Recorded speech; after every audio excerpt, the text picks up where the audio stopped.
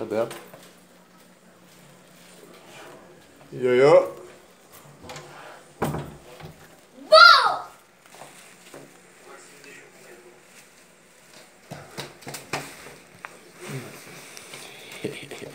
Tudo bem? Trouxe pra você um negócio aqui dentro.